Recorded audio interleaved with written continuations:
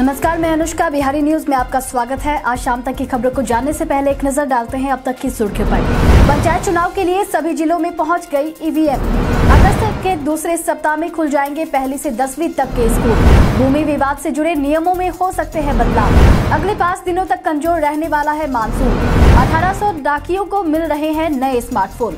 तो आइए अब जानते हैं खबरें विस्तार से। बिहार पंचायत चुनाव के लिए सभी जिलों में पहुँच गई ईवीएम। बिहार में त्रिस्तरीय पंचायत चुनाव के लिए सभी जिलों में ईवीएम पहुँच गई है। बता दें कि सभी जिलों के डीएम को यह काम दिया गया था कि वे तय किए हुए विभिन्न राज्यों से जाकर ईवीएम को कलेक्ट करें। ऐसे में यह काम को पूरा कर लिया गया है। आपको बताते चले कि पहली बार बिहार में पंचायत चुनाव में ईवीएम मशीन का इस्तेमाल होगा। इस बार दो लाख नौ हज़ार ईवीएम का इस्तेमाल होने जा रहा है। हालाँकि ईवीएम के ज़रिए केवल चार पदों मुखिया, वार्ड सदस्य, पंचायत समिति या सदस्य और जिला परिषद के लिए वोटिंग की जानी है। बाकी के बचे दो पद, पंच और सरपंच के लिए वोटिंग बैलेट पेपर के माध्यम से होगी। इस क्रम में शेखपुरा ज़िले को तमिलनाडु से ईवीएम मंगाने में खासी परेशानी हुई। बताते चले कि अगले 24 घंटे के अंदर जो मशीन रास्ते में है, वो भी पहुँच जाने वाली है। फ़िलहाल पहुँच गए ईवीएम को गोदाम में रखा गया है, जिसकी फ़र्स्ट लेवल चेकिंग की जाएगी। विवाद से जुड़े नियमों में हो सकते हैं बदलाव। राज्य में अक्सर भूमि विवाद के कई मामले आते रहते हैं और कोर्ट तक पहुँचने पर वर्षों तक अटके रहते हैं। ऐसे में बिहार सरकार विवादों का निपटारा कम करने के लिए संपत्ति से जुड़े नियमों में बदलाव करने की सोच रही है। बिहार सरकार के राजस्व एवं भूमि सुधार विभाग मंत्री रामसूरत राय के मुताबिक इसके लिए सहमति नियम बनाने पर विचार चल रहा है, जिससे कि किसी पुश्तैनी ज़मीन को कई भाइयों के बीच एक फॉर्मेट के तहत बांटा जाएगा। बंटवारे पर परिवार के बहुमत वाले सदस्यों की सहमति बन गई तो इसके बाद एक सहमति पत्र पर साइन करना होगा, जिसमें पंचायत के मुखिया मुखिया चुनाव के निकटतम प्रतिद्वंदी, वार्ड सदस्य, चकबंदी और राजस्व विभाग के अधिकारी भी अपने हस्ताक्षर करेंगे। इसके बाद उसे कानूनी मान्यता मिल जाएगी और परिवार के अल्पमत वाले सदस्यों को भी इस सहमति पत्र को मानना ज़रूरी होगा। इस पर जल्द फैसला लिया जा सकता है। शनिवार को 350 एंबुलेंस और 50 नए सीएनजी बसों का होगा उद्घाटन। बिहार में 24 जुलाई यानी कि शनिवार को एक साथ 350 एंबुलेंस का शुभारंभ किया जाएगा।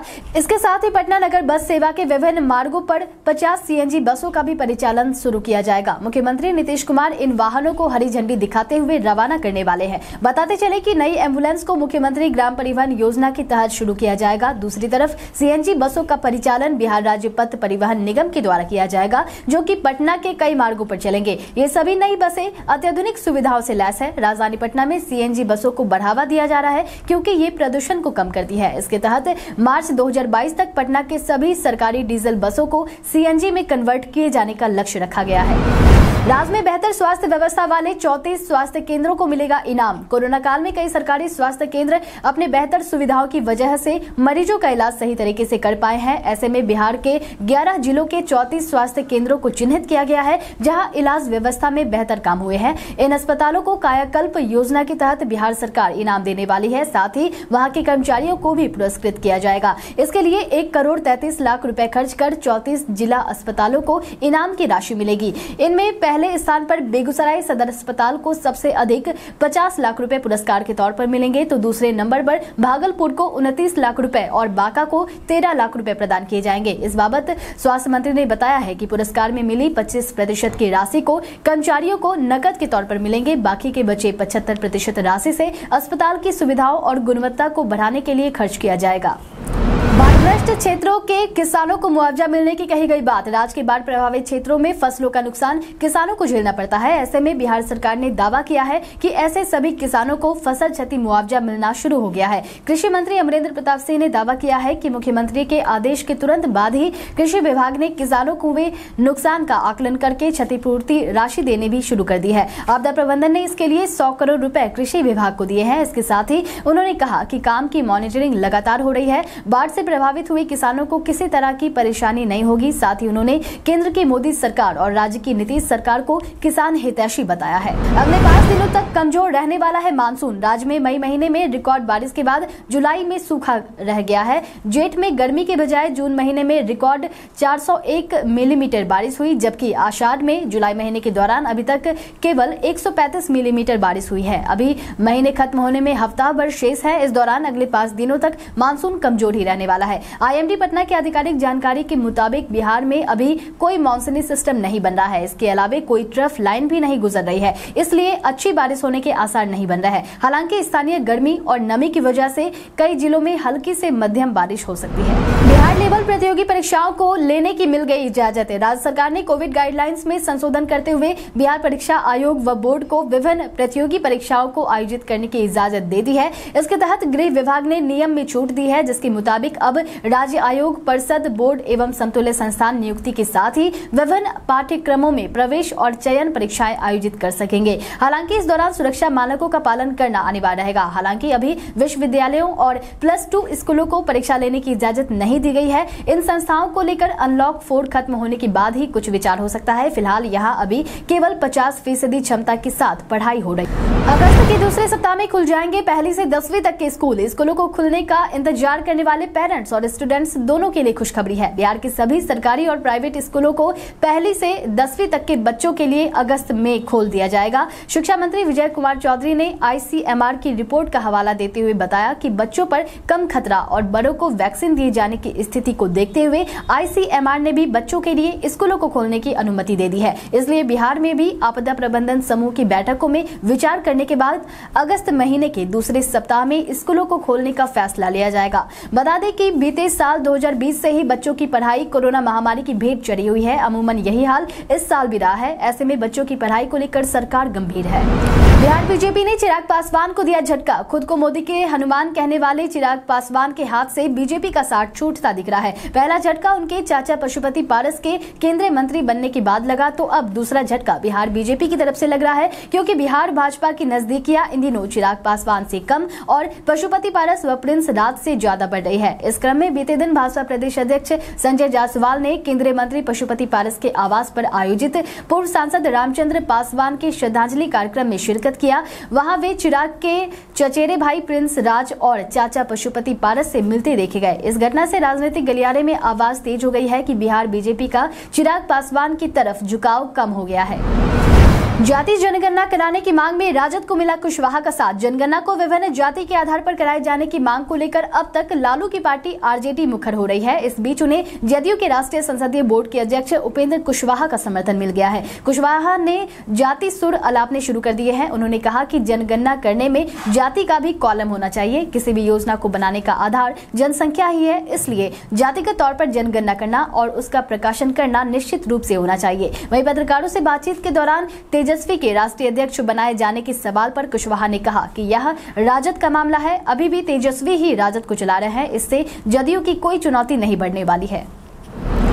1800 डाकियों को मिल रहे हैं नए स्मार्टफ़ोन। बिहार के पोस्टमैन को स्मार्ट बनाने की कवायद शुरू हो गई है। उन्हें पोस्टमैन मोबाइल ऐप की ट्रेनिंग दी जा चुकी है, जिसके लिए 1800 डाकियों को नया स्मार्टफ़ोन दिया जा रहा है। दरअसल, डाक विभाग पोस्टमैन मोबाइल ऐप से डाकियों की मॉनिटरिंग की सुविधा शुरू करने जा रहा है। इससे घर घर बैंकिंग सुविधा लोगों को आसानी से मिल सकेगी। यानी की अब पैसा निकालने या फिर पैसा जमा करने के लिए खाता धारकों को डाकघर जाने की ज़रूरत नहीं होगी। बस अंगूठे के निशान से खाता धारकों को पैसा मिल जाएगा। डाक विभाग के अधिकारियों के मुताबिक लॉकडाउन में डाकियों ने बुज़ुर्ग और बेसहारों को घर घर जाकर पैसा पहुँचाया है। लॉकडाउन के बाद चार लाख से अधिक चिट्ठियाँ पहुंचाई जा रही है। बता दें कि पोस्टमैन मोबाइल ऐप में डिजिटल सिग्नेचर भी कर सकेंगे। इससे खाता धारकों के साथ धोखाधड़ी की समस्या को खत्म किया जा सकेगा। यही नहीं खाता धारकों का पैसा कोई दूसरा नहीं निकाल सकेगा। में करीब तीन लाख लोगों ने आयुष्मान योजना का उठाया लाभ। बिहार में आयुष्मान भारत योजना के तहत लाखों गरीबों का इलाज चल रहा है। इस बात की जानकारी देते हुए स्वास्थ्य मंत्री मंगल पांडे ने कहा कि राज्य में ये योजना गरीबों के लिए वरदान साबित हो रही है। बताते चले कि केंद्र सरकार की स्वास्थ्य योजना आयुष्मान भारत के तहत वंचित एवं गरीब परिवार के लोगों को पाँच लाख रूपए तक की निःशुल्क इलाज की सुविधा दी जाती है। योजना के तहत बिहार में जून दो हज़ार इक्कीस तक दो लाख तिरासी हज़ार एक सौ तैतालीस लोगों को निःशुल्क इलाज मिल चुका है। वहीं ऐसे लोगों के इलाज पर दो सौ बहत्तर करोड़ दो लाख उन्नीस हज़ार रुपए की धनराशि को खर्च किया गया है। मंगल पांडे ने बताया कि योजना के तहत बिहार में कुल 912 अस्पतालों को लिस्टेड किया गया है, जिसमें पाँच सौ बहत्तर सरकारी अस्पताल 303 निजी अस्पताल एवं अड़तीस भारत सरकार के अस्पतालों में योजना के तहत मरीजों का इलाज हो रहा है। दुनिया भर में इस सप्ताह मनाया जा रहा है वर्ल्ड मास्क सप्ताह। कोरोना महामारी में मास्क हमारे जीवन का अहम हिस्सा बन चुका है, क्योंकि डब्ल्यूएचओ की रिपोर्ट में भी माना गया है कि मास्क संक्रमण से बचने का सबसे सुरक्षित और कारगर उपाय है। डब्ल्यूएचओ के साथ ही कई देश की सरकारों ने मास्क को अनिवार्य कर दिया है। इस बीच इसकी उपयोगिता को लेकर विश्व स्वास्थ्य संगठन ने इस सप्ताह को विश्व मास्क सप्ताह के रूप में मनाने की घोषणा की है। इसके लिए सोशल मीडिया पर एक पोस्टर भी जारी किया गया है, जिसमें मास्क की उपयोगिता, प्रकार और रख रखाव के बारे में बताया गया है। इसके अलावा बच्चों को भी मास्क पहनने की ज़रूरत बताई है। साथ ही हर बार मास्क को उतारने के बाद अच्छी तरह से साफ़ करने की भी ज़रूरत बताई गई है। आरजेडी सांसद मनोज झा ने मानसून सत्र में सरकार को जमकर धोया। राज्यसभा में चल रहे मानसून सत्र में आरजेडी से सांसद मनोज झा ने आम आदमी की आवाज़ उठाई। उनकी बातों को इस दौरान पक्ष और विपक्ष दोनों का समर्थन देखने को मिला। उन्होंने कहा कि मरने वालों के आंकड़ों की बात नहीं करनी है, क्योंकि कोरोना महामारी में कई ऐसे लोग भी थे जिन्होंने सड़कों पर अपनी जान गंवाई है और उनका कोई आंकड़ा नहीं है। कई लाशें गंगा में तैरते हुए देखने को मिली। उन्होंने कहा कि यह किसी एक सरकार का फेलियर नहीं है, सिर्फ़ केंद्र का फेलियर नहीं है। यह उन्नीस से लेकर लेकर अब तक की सभी सरकारों का फेलियर है। हम कभी नहीं जानते थे कि अस्पताल और ऑक्सीजन का क्या कनेक्शन होता है, लेकिन वह सब इस कोरोना काल में दिख गया। इस दौरान उन्होंने कहा कि राशन वैक्सीन कुछ भी मुफ़्त नहीं है, ये सब जनता का अधिकार है, क्योंकि वे टैक्स पे करते हैं।